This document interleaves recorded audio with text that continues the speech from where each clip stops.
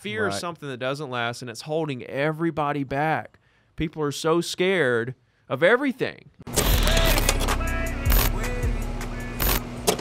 Talk Yeah. about the three two one club. What you do with that? 321 Club is just a Instagram contest, basically. And, um, you know, anybody that wants to have a call with me, I do two or three a week.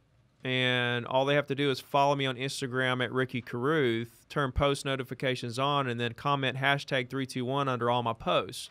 Okay. So I pick a winner, two or three winners every week.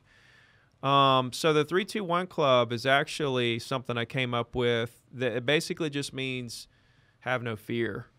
Um, if something scares you that that you know is going to make you successful, like making phone calls, public speaking, being on a podcast, meeting someone you never met before, calling the CEO of some company, whatever it is, and it's scaring you to death, but you know you need to do it, just say three, two, one, and just do it. Mm. It's like Right? jump- jumping off the high dive when you're. Yeah, yeah. rip the band-aid off. Right. So that I really believe in in in in going towards your fear.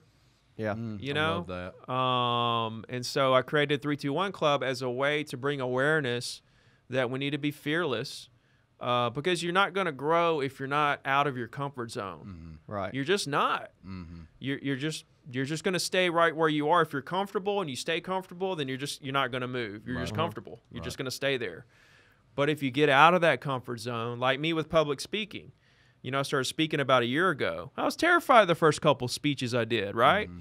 Now it's getting better. Now I'm getting a little more mm-hmm. into the flow. Now I'm enjoying it. Now mm-hmm. I'm really getting into it. And I knew though that that w- whenever you're scared of something, it's only a transition period of time b- of doing that whatever it is before you get to where you're not scared. You know, like making phone calls, make a couple thousand calls and then mm. see if you're still scared. Right. Right. If you're scared to do speeches, do a dozen speeches and see if you're still scared. It's just it, it's something that doesn't last. Fear is something that doesn't last and it's holding everybody back. People are so scared of everything.